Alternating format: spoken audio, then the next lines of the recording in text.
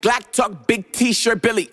Next story. Newsweek.com. Found notebooks reveal Rosenbergs to be time traveling historians. Gage William Preed. One minute. In a sobering discovery that recontextualizes a defining moment in 20th century history, a collection of notebooks hidden away for decades has revealed that Julius and Ethel Rosenberg, the couple executed in 1953 for espionage, were in fact time traveling historians, sent back from the future to closely document past events. This is a bombshell discovery that will force us to reevaluate everything we thought we knew about American history, said Dr. Howard Zinn, a renowned historian. The Rosenbergs were not spies, they were scholars from the future who were trying to help all of humanity understand its past. Did the Rosenbergs know that they would never return to the future?